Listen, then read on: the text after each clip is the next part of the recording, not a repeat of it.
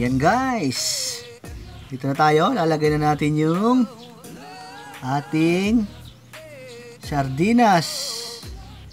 Yan. Nandito na naman tayo. Para sa ants versus sardinas. Yan po. Lagay na natin ang sardinas. Yan po. Yan. Taktak natin. Yan. Usog natin. Yan.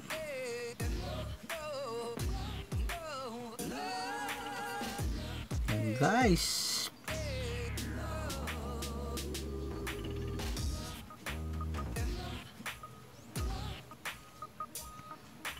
Yan na guys. Bibigyan natin sila ng limang oras para ubusin niya. Okay, timer starts now!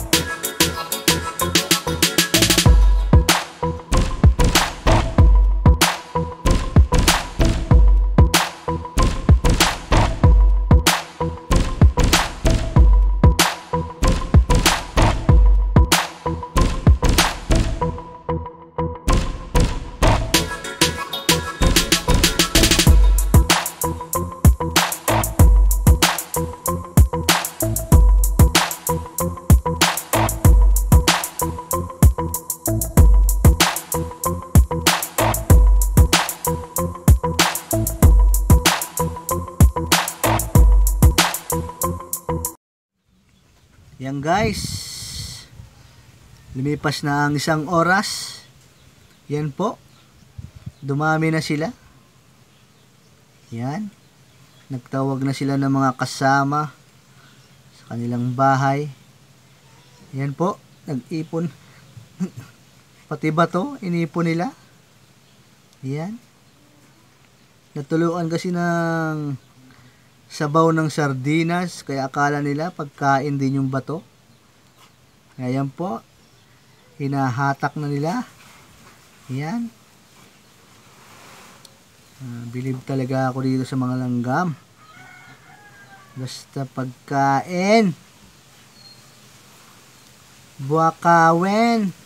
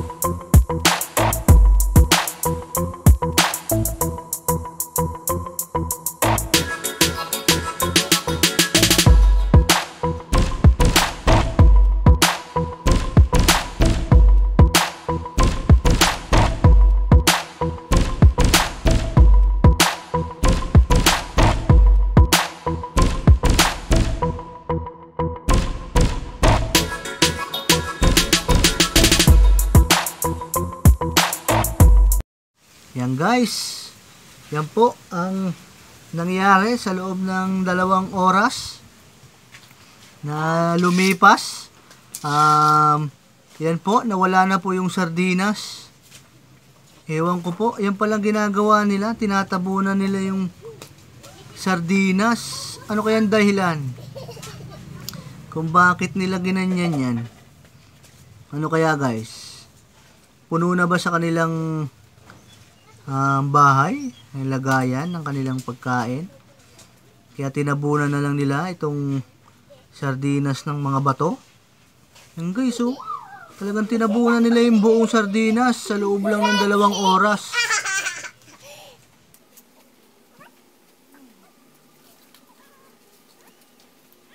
Isang mahiwaga guys. Bakit kaya tinabunan nila ng bato itong buong sardinas? Yan po. Para silang bumuo ng isang bahay ulit. Yan guys, panoorin mo muna natin sila. Dalawang oras pa nakakalipas guys. 3 hours to go.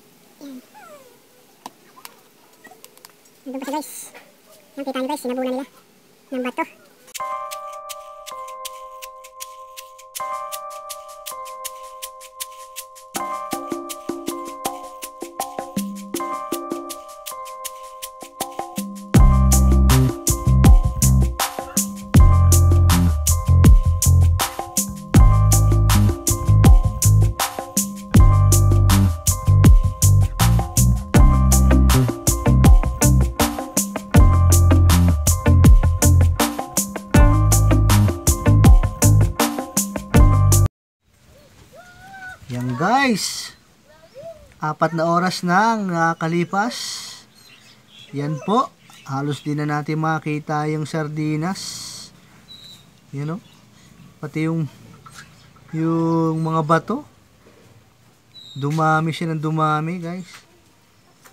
Ano kaya ang dahilan nila? Bakit nila tinabunan ng bato yung sardinas? Yan o. Pero bawas ng bawas yung ano yung sardinas. Yun ang mahiwaga dyan guys. Kung bakit tinatabunan nila ng bato. Yan guys, meron na lang silang isang oras na natitira para ubusin yung sardinas. Kaya pa yan guys, hintayin lang natin.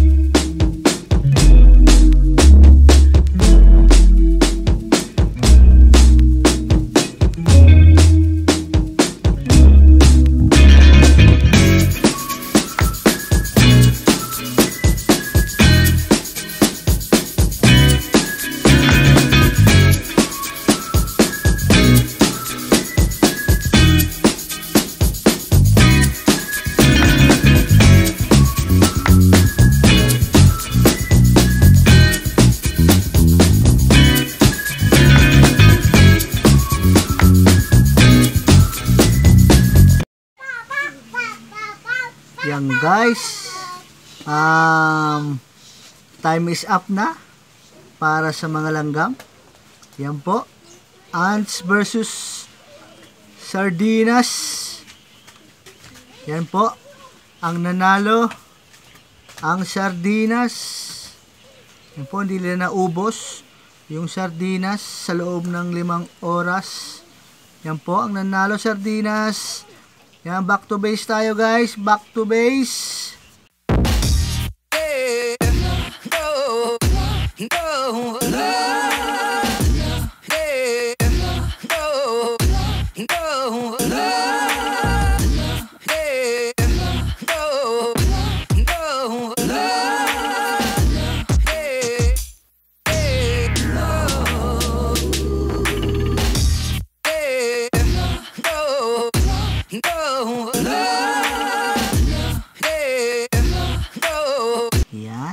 Hinihipang ko para medyo tumabi sila. Makita nyo na hindi nila naubos. Yan guys, back to base na.